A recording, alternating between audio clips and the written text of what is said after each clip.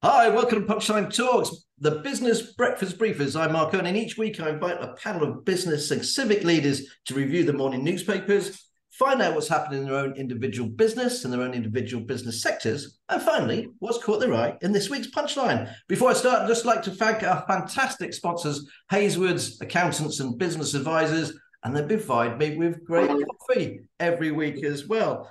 If you like the show, please like, share, and subscribe. Well, let's introduce to the panel. We've got Councillor Tim Gwilliam. He's the ex-leader of the Forest of Dean, of Dean uh, District Council, and he's also the councillor for Berry Hill. We've got Heath Gunter, CEO of Cheltenham Bid. We've got Ian Mean, Director of Business West and ex-editor of the Citizen Echo and Western Daily Press. And finally, never last and not least, Sam Holliday, Business Development Manager for the Federation of Small Business for Gloucestershire and the southwest of England. Okay, let's see what's making the headlines today. I'll just quickly share my screen. Courtesy of the BBC. Here we go. We've got the eye. UK warns new rules needed to tame AI. The Financial Times. BT plans to kill 55,000 jobs this decade. The Daily Mail. Is this the start of the great AI jobs bloodbath? The Sun, Saturday night takeaway or taking away. Ant and Dec are calling it time after 20 years.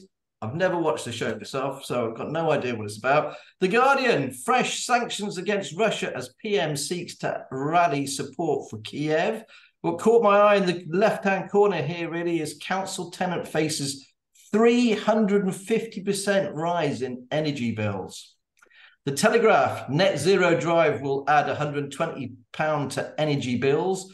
The Daily Star, uh, why oh yeah, undercracker sales up 45%. This is a story about Erling Haggard, Hallard, Hallard and his amazing underpants. and the Daily Express, confident Rishi, RBPM for, t- for years. And the Metro, 10 billion dirty tricks. You'll foot the bills for sewage spills. The Times, UK re- uh, reliance on foreign nurses at critical level. And the, the Mirror, Mummy, Am I Going to Die? A story about dangerous dogs. That's what's making the headlines today, courtesy of the BBC. Okay, let's start with you today, Sam. Thanks ever so much for joining us, everybody. What yeah, have you picked out? Yeah, thank you, Mark. I mean, well, actually, it's a story that about led on about three of your of your newspapers there. Um, and that's about AI. And um, there's interesting stuff in the Times, interesting stuff in the AI, including um, probably the um, most bizarre quote from somebody who said that this isn't hyperbole. This um, hyper, this non-hyperbole quote is it is not hyperbole to say that if this goes wrong, it could lead to the end of civilization as we know it. That's Matt Hancock. Maybe not the most credible of people, but that has got to be the most ridiculous quote. But but it, it is a serious point because BT announced yesterday 10,000 jobs are going immediately because of, of what they can do with AI, and that might lead to 50,000. And that's led to Rishi Sunak commenting about this in Japan and talking about the dangers of AI. Now, AI, I think, is is incredible. Um, and and I, I, for example, I've got a couple of Alexas around my uh, house. I, will probably be even saying that on this screen and set some of these people off. It's the most astonishing piece of technology. I've no idea how it works, and it, and when it works really well, it's a, it is incredible. But what worries me is how far it'll go. Now, you mentioned that both Ian and I, both um, former newspapers editors, you're a magazine editor. There are already newspaper articles and so forth being written by AI. But mm. do you know what? Last night, I mean, I'm you, you are probably well aware I'm a football um, uh, man. And just stick with me with this. There was the most remarkable football result happened last night. It was a two-legged match. Sheffield Wednesday were losing 4-0 after the first leg. That means the game's over in effect. If you're not a football fan, that's over. Second leg, they managed to overturn that. Now, an AI could write a report about that, the facts, the figures, the goals when they went in, but you'll never convey the emotion, the the the agony of that uh, Peterborough fan who's seen his, his lead overturned and all that kind of stuff. And, and I do think that there's a danger that you know, in in this desire to get to technology, not only we're going to lose jobs, we're going to lose a certain amount of our soul. And I, and yes, Matt Hancock's quote is a bit bizarre, but you know, I think BT said yesterday that AI will be as big as the internet. Now, when you think of the world changing effect the internet has had on all our lives, it's something that perhaps we don't talk about enough. You know, I think there's a there's a tendency to think of AI as being a you know for boffins and it's all a bit. But every single person who says I'm not interested in AI that owns an Alexa, look how good that is. Look what that's done. Look at the impact that's going to have on your life. So I think this is a good. I'm glad that the story is now being raised because it's going to affect business. It's going to affect us all as individuals. And and my fear is that just like the internet, for all the good that's going to come with it, there's going to be that stuff that's going to come behind that won't be so good. And and the idea that newspapers, I know that some people will mock this and say they would be anyway, could be written by robots. Then you know get no emotion, you get no opinion, you get no diversity of opinion, and that's frightening. So I think it's. I'm pleased this story's on the front page. It, the impact is enormous. Okay, thanks ever so much for that, Sam.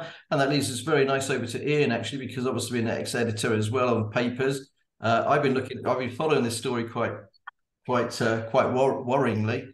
I, I totally agree with you, Sam. My big worry, my big worry is is the Terminator films.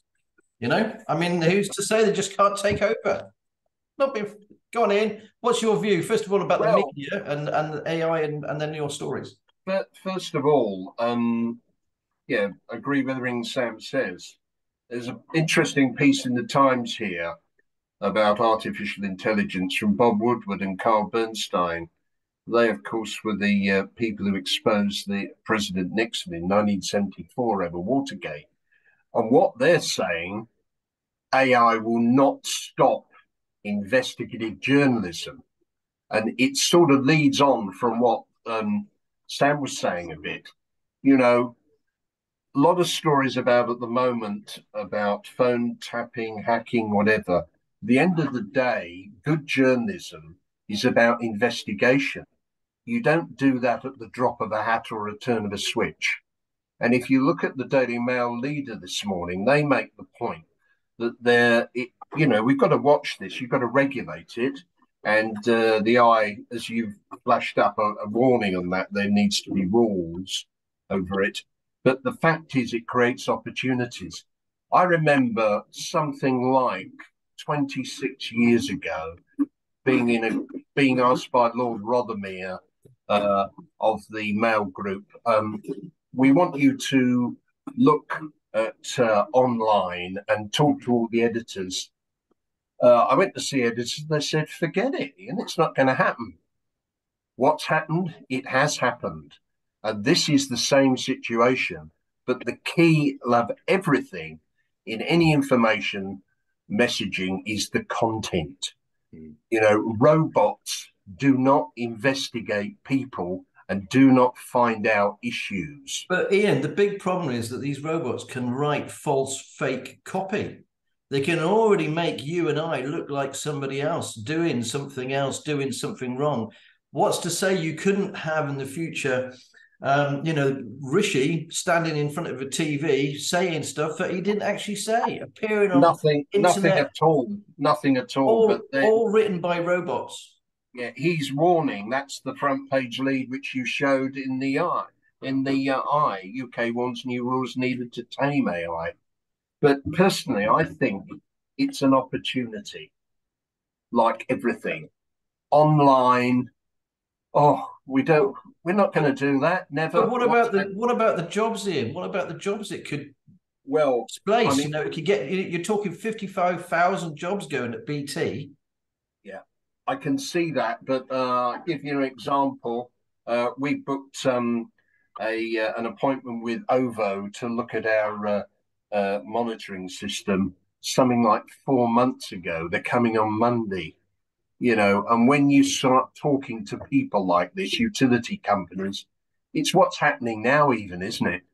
You know in a minor way we get these very glib messages. So i think it's an opportunity but it can be pretty dangerous. And also young people are being brought up with this. This is something that they're going to be learning about and feeling oh this is this is the way to do it yeah, I, I, I could see that as well. Actually. Whether it's a, a university dissertation of 10,000 words or, or a short story about what they did yesterday. Okay, thanks ever so much for that view. It comes over to Heath then. Heath, what have you picked up from the papers? Is it uh, and, and, your view very quickly on AI? Do you agree with the rest of the panel so far? Yeah, I think it's, it's something that we need to um, look at and, and watch. Um, on the job side, I think it's actually going to create quite a few jobs. If you think of what social media has done, 15 years ago, you didn't hear, you wouldn't even know what a social media manager was. social media executive, um, social media marketing companies, and just think of what that industries, those industries are doing at the moment. So there is potential there. Yeah, you might lose fifty thousand jobs on one side, but it will create uh, jobs on the other side. Um, so, but it's it's scary what AI can do, um, and definitely something that the governments need to need to um, look at. That leads me nicely into a story from the Guardian um, about the state of Montana uh, banning TikTok. Um, hmm. And it's it's really interesting because obviously over the last couple of years, TikTok has, has taken over um, social media by storm, and a lot of businesses are looking at using TikTok as part of their marketing strategies. Um, obviously, there's two elements to the story. It's freedom of speech. Um, should people be able to use a platform um, and, and um, spread their views? and also data protection. So the main reason why Montana is banning it is because of data protection and uh, surveillance by the, the Chinese government, um, and that's what they're concerned about.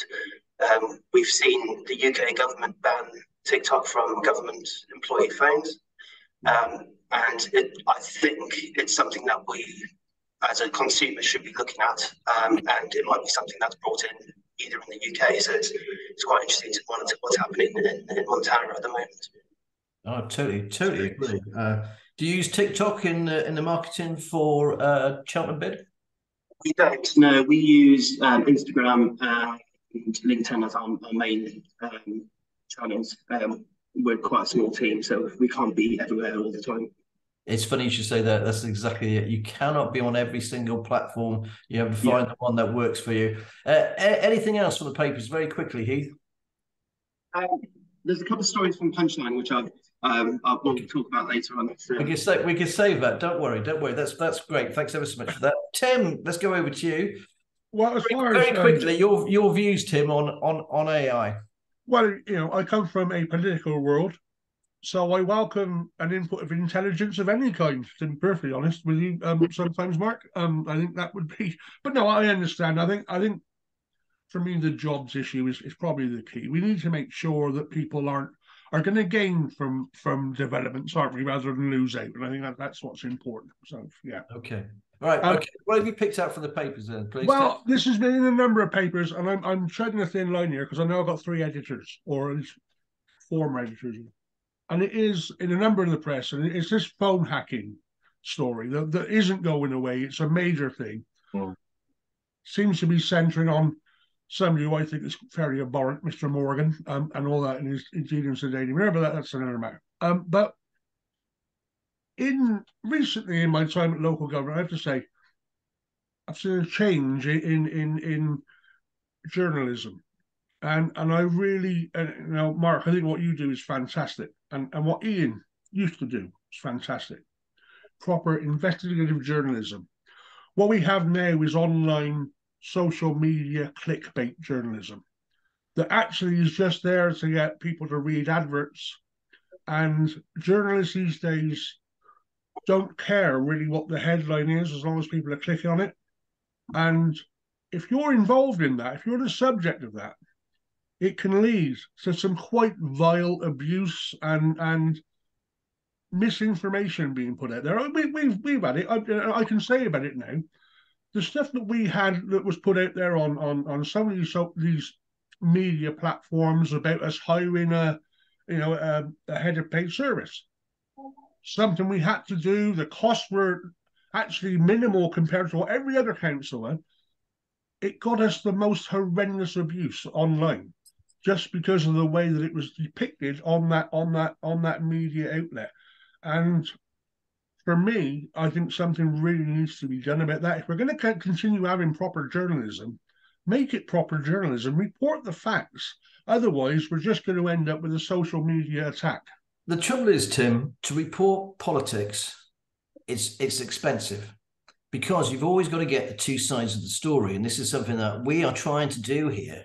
Yeah, and I, can only do it. I can only do it with the support of Hazlewoods and advertisers and, and Cheltenham Bid or anybody that supports Punchline that actually oh. pays for the advertising, pays for the sponsorship, I can then pay for a journalist to find the two sides of the story. So even if we get, a, say, a press release from the Liberal Democrats, Yeah. Then we've got to go over to the Tory party when they're attacking them and get their view of it. You can't just print their press release. And that all takes time. Yeah. The trouble is with the media nowadays, it has to be fast, it has to be quick.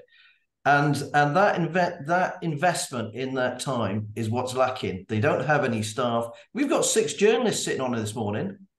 So, you know, six.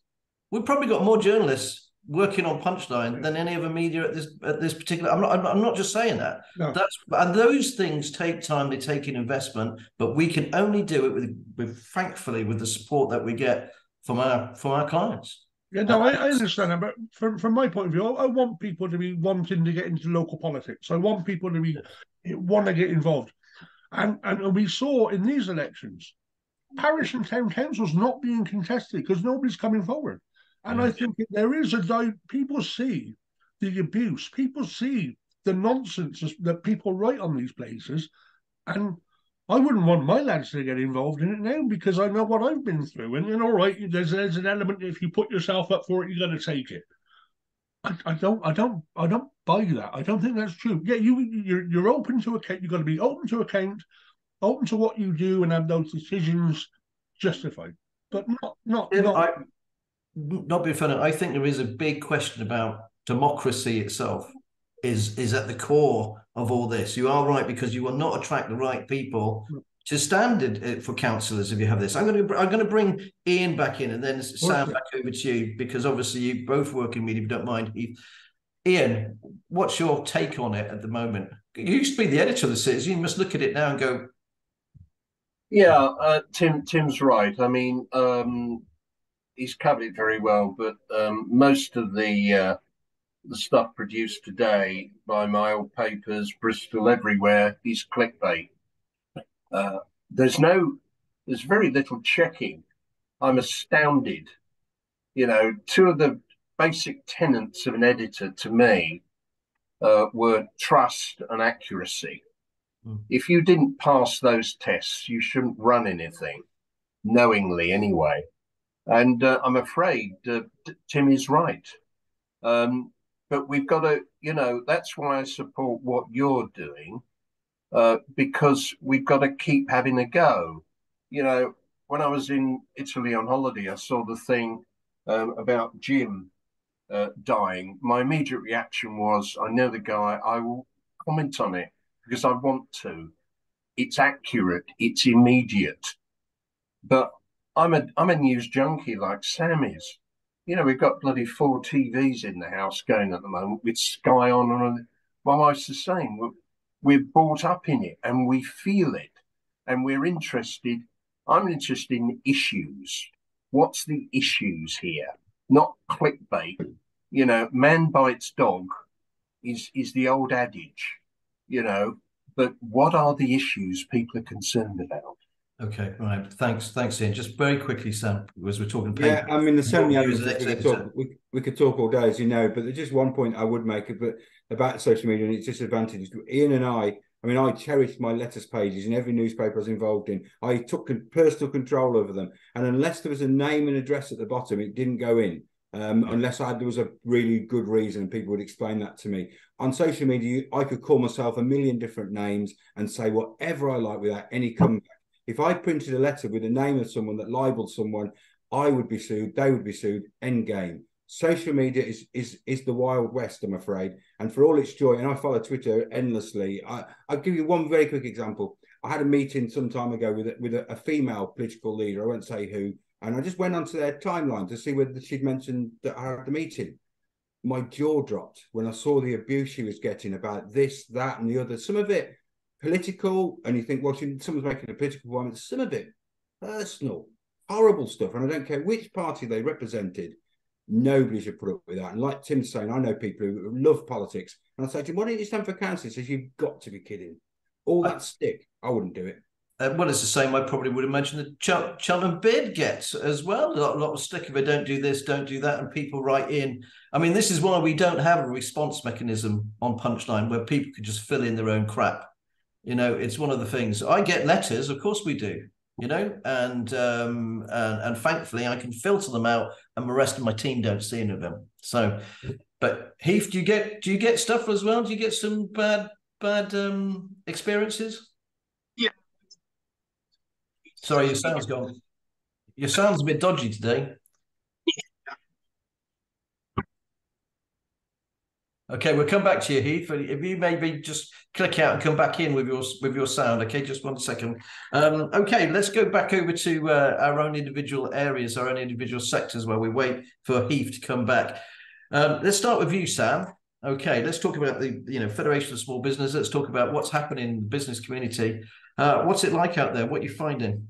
Well, um, I, we you recently in Punchline published our national confidence reports that shows that the confidence was going up, and we've just got the regional figures through, which we're going through now. So I'll be sending you some stuff through, hopefully. Um, and the headline is that confidence does seem to be coming back, not massively, but slowly, cautiously, and possibly surely. I think it is coming back, and that's got to be good news because it's been uh, the most horrendous um, the last two or three years, and the last twelve months were particularly bad, I think. Um, but confidence might be cautiously returning. And I think there's lots of reasons for that, not least the fact that um, I drove I drive a diesel car and I went to fill up my car the other day. It's 50p cheaper than it was probably six months ago. Now, if that's me as an individual benefiting, what about the businesses who rely massively? If you're in the forest and you're and you're delivering stuff out on, on lorries and so forth, that 50p for every every every litre is astonishingly different. So there's reasons for confidence for coming back. Just one sort of slightly more um, negative point, though, um, there are still some people, and I know you've pointed this out in some of your earlier comment, uh, Mark, um, who are still trapped because of the energy issue. And the trap that a lot of businesses found was the middle of last year when things were really, really panicky. People signed up for deals because they wanted to get any deal. They need to sign up for a deal, and business will lock themselves in to some horrendous figures. Now, those figures are coming down now, but some businesses are still paying ridiculously expensive deals. So, we're trying to encourage the government to encourage the companies to re- renegotiate, to be realistic. That you know, energy costs are coming down. Some businesses are still paying eye-watering sums, but that's if we can get that moving and we can get the confidence moving in the right direction, we may end up having a better 2023 than some of us were anticipating. Okay, thanks ever so much for that, Sam. Heath, I'm going to just check that you're you can hear you nicely now. Can you hear me now? We can hear you great. Okay, let's go over to you then. Let's talk about Cheltenham Cheltenham bid and uh, what's happening because we talked about the high streets and stuff before. It's looking good, isn't it, at Cheltenham at the moment? Looking very good. Um, I think nationally there's that narrative that the high streets are failing. However, uh, it's not what we're seeing in Cheltenham. Cheltenham's doing really well. Um, obviously, there's challenges. Um, you're going to get it when you've got uh, quite a large town, but we are doing well. So footfall's up 30% for the first four months of this year um, compared to 2022 and we're tracking roughly about the same as 2019, so pre-pandemic um, levels. So that's phenomenal having that many people in town. Um, I don't know if any of you were in Cheltenham on Saturday, but it was absolutely heaving. Um, we're lucky we've got events going on all the time. So we've got Cheltenham Pride happened last weekend, um, just adding to the vibrant atmosphere of, of the town centre. So when you say 30% up, what kind of figure are we talking about here? It's about a million a month in the town centre visiting. So it's, it's pretty decent wow. figures. Uh, and the voids are, are looking good. Uh, we were really worried about Montpellier at one point and the promenade. That seems to be filling up as well now. Dobbies yeah, just go, moved in. Yeah, if you go back 18 months or so, the promenade was looking quite sorry. Um, but yeah, over the last 18 months, we've managed to get quite a few um, new businesses in there. So yeah, Little Dobbies opening um, a couple of months ago. Arcade Bennett have come back into town um, on the 4th of May. So um, it's looking phenomenal. Yeah, it's great. And you also, all you guys clubbed together and got rid of the gambling site that was in the old shoe zone as well, going to be going there. Goodness gracious, what were they thinking? Yeah, it just wasn't the right right business in the right area of town. Um, it, it's, it's quite great seeing businesses and, and local people coming together. Um, if you look at the um, planning portal, all the negative comments on there um, going against that. It's, it's just nice that we've had a community come together and and actually galvanise um, against something that which wouldn't bring any benefits to the town centre. No, couldn't say more. Uh, thanks ever so much for that. He, congratulations, by the way. I just want to say what a great job Cheltenham Bid does as well. Really is quite outstanding. Yeah. Thank you. Okay, I'm going to go over to you now, Tim. Uh, and I think, hey, mate, I, I think, if you don't mind me saying, I think you've lost a little bit of weight, haven't you? I, I, about seven, just over seven stone, Mark. Yeah, since last Se- September. Se- seven stone. Yes. Amazing. Um, I, I, no, I'm not going to take all the. I'm not going to take all the credit for it. Um, late last late last summer, I was diagnosed with a um, a condition that linked with my diabetes means I was unable to lose weight. I was piling it on. Even if I was eating lettuce, I was putting four pound on. Blew up like the Michelin man. Um, when they finally found out what it was, I was diagnosed with uh, it's something that cats get, Cushing's disease and Cushing's syndrome. So I, yeah, that was what it was. But they um, they prescribed me um, semaglutide, which is what they're calling now the um, celebrity diet drug. So mm. I inject myself once uh, once a week on a Friday, and um, it suppresses the appetite. If I start eating a meal halfway through it, I'm kind of done. That and a bit more exercise. And of course, as I've lost some weight, I'm being able to do a bit more exercise, and then um, so so yeah, I'm I'm hoping to lose a bit more. Well, you're looking great there, mate. Looking great. So on that side, you're looking great, but on the flip side, I, I, we were very sorry to hear that you'd you'd, you'd lost the leadership of the uh, of the Forest Dean Council. That must yeah, be. I guess that's that's democracy, isn't it? Uh, uh in in action. I mean, look, I, have had six years at the helm. Um, that's a long time, really, for a leader of a council. Um, uh, especially when I've never been in the majority. I've always been a minority leader, reliant on other people's. And, and Ian Mean once said to me, and I remember him, I remember him saying it that all political careers end in failure. And I want to be the, the, the exception to his rule on this because I figure I've lost because of politics, not because of performance. That's why I've lost the role. And, and that's what I'm clinging to. And a bit of a break, and who knows what's around the corner for me politically. So that that's where I'm going to be. So yeah. Because the, thing about you, you is, uh, and and and the council was led by independents, wasn't it, as well? Yeah. A coalition of of of different. Yeah, it was. Yeah, up to last September when I um, had to remove a couple of Greens from my cabinet. Yeah. Was it a nasty election, Tim? It was the worst one I've sat in, Mark. To be honest, yeah. Um, Why was it so vicious? I mean, I heard various rumours and stuff, and uh, you know, on the ground, it was it, it wasn't pleasant. I th- okay. Um, I've had I've been targeted before by a number of the other parties. Okay, the major parties they targeted me because I was leader of the council. I get it. Cut off the head, the rest will follow, as they say, and all that kind of stuff. Um, but this time, with some of the other parties joining in, shall we say, perhaps one that's been more successful, it, it did become a little nasty and personal. And and what I'll say is this: good luck to them. They, they've achieved what they wanted to achieve. They're the biggest group. I think over the next four or five years, the public of the Forest of Dean will certainly, and I think the rest of the country will wake up to the fact, and I'm going to say it, that the Green Party are not the cagoule wearing people that like badgers and all that kind of stuff and live in a cottage down their own. These are a drilled and real par- uh, political party. And they are determined to do what they want to do. You know, that's great. That's they have their thesis. But for me, I wasn't comfortable with the way they've campaigned, and and and I will continue to oppose that kind of politics. But you know, it is what it is. They've been successful. Good luck to them. I'll phone their new leader up, offer him any help I can, I can give him, but I will continue to hold him to account. Good for you, mate. And I just want to say that the Green Party also won Painswick to go took out the Tory. Yeah, they did. They're, they're on a they're on a roll, mate. And, and good luck to them. They're doing that. But I think I think quite often they get elected on what they don't say compared to what they do say. Okay, well, that's it. It's not as easy to run these things as everybody thinks. That's the no. truth of the matter, isn't it? Uh, that goes me back over to Ian. He used to run all the papers and stuff. Ian, you always made it made it look easy. It's not okay, but uh... no, no, it's not easy as as um, Sam will tell you. Um, you take like Tim. I took the responsibility um, very seriously, and unfortunately, I still do. Uh, uh, you, you're involved in it. Uh, looking at Tim, yeah, Tim is an honest leader. You know, there's no side to him. Uh, but politics isn't like that. And that quote I said to him some years ago is absolutely right. Um, you mentioned earlier, we, we, we've seen in the last week um, some changes up at Tewkesbury.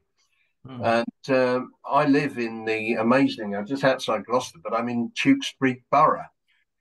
And, um, you know, change, they've actually now paused the Garden Town project there as a direct result.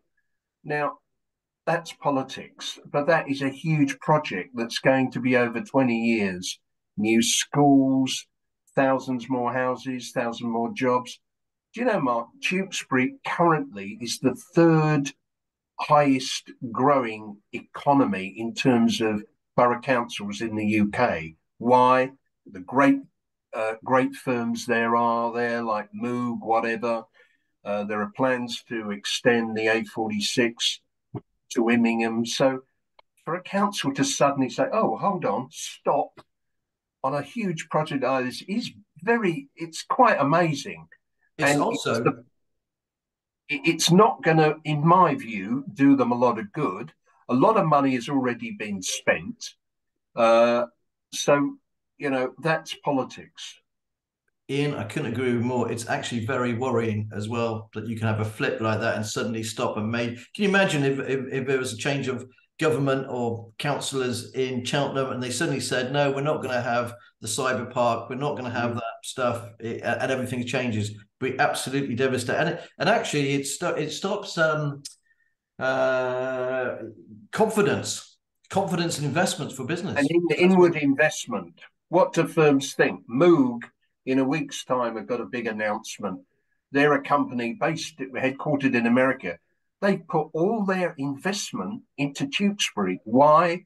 Because of the skills. Families have been brought up there. They continue to work there. So you've got to be mm-hmm. very careful with making political political decisions that harm the economic future of an area.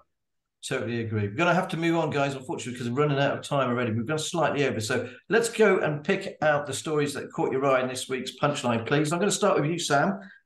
What have you caught from this week's punch, please? We're going to not count Jim because we all know that Jim would be everybody's choice today. Jim Grant passing away. Yeah. So if you don't mind, we, yeah, it goes without saying that Jim would be the number one story. So one hundred percent, and, my condolences to his family. Lovely guy, passionate about Cirencester and the Cotswolds. A great miss already.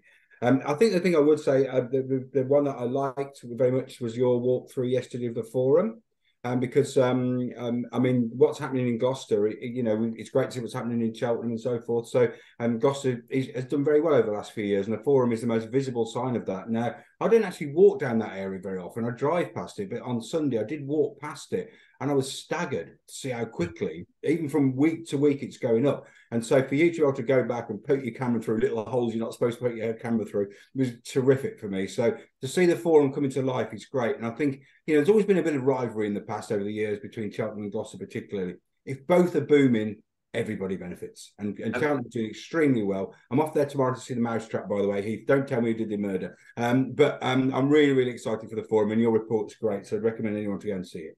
Okay, thanks ever so much for that. Heath, what have you chosen for this week's punchline, please?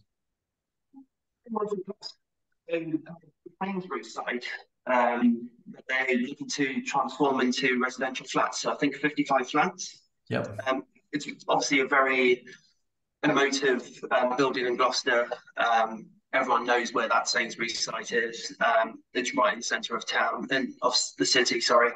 And it's it's interesting how they, they're going to do it. Looking at the plans, it looks quite sympathetic to the, the old design. Um, and I think that's very important, actually. We've got a few buildings in Cheltenham that um, will be going residential um, in the future. And it's, it's one of those things where you need to look at the history of that building, uh, the history of the town or the city, and, and make sure that um, the designs are sympathetic to, to what's happened previously. Um, I, I think it's only a good thing that residential is coming back to town centres. Um, there's so much wasted space above old old, old shops in the town centre, um, and having natural footfall just makes sense, doesn't it? Rather than people coming in through with buses and cars, you've got people who are there. To- totally agree. No, thanks ever so much for that, uh, Heath. Tim, what have you chosen from this week's punchline, please? Uh, well, this is the one that's going to split the pan again because obviously Heath and I are both in our twenties. The rest of you are much much older. Um, and it was actually Dave Wood's piece on um, due to popular demand, the Yorkie honeycomb coming back. Um, I, am bringing back, and it made me think what I would have liked to be rolled back. And I did think yesterday afternoon when I was reading that I would kill for a cabana and a can of Quatro. And I just wondered what the rest of the panel would bring back if they had the opportunity from those halcyon days when food tasted of food. We were allowed sugar, we were allowed salt, and everything, and a bar of chocolate was bigger than your little finger. Okay, we'll come back to that in a second. One everyone has a thing. We'll finish on that very thing. Thanks for that, Tim. Ian, what's caught your eye in this week's uh, punchline, uh, with Sam on the um, forum, uh, you know, having been involved with the Urban Regeneration Company for some years way back, we had to stop work at the uh, quays and the docks. We should have gone into the city. The RDAs were disbanded, so it's great to see it. And we've talked about online, but you know, words don't mean much today, I'm afraid. Visuality does. So, film, walking around is great. I just done something with the uh, Vice Chancellor of the University of the old um, Debenhams building, which is quite amazing. So, I thought what you did was great. It gives people a feel, well, this is fantastic. This is what's going to be like. Thank you very much, Ian. I really appreciate that as well. Okay, uh, just very quickly before we wrap up, I'd bring Quatro back as well. Heath? Just thinking, um, when I was at school, Panda Pops were quite popular. Candy Pops, okay. Panda, Panda Pops. Sorry, Panda Pops. Sam? There was a very chewy chocolate bar called a Texan, which was really nice. I loved that as a kid. And also there's a bar called Aztec, which I think had rum and raisin in it. Very nice as well. Okay, Ian, last one before we go. Tizer. Tizer. I remember that as well.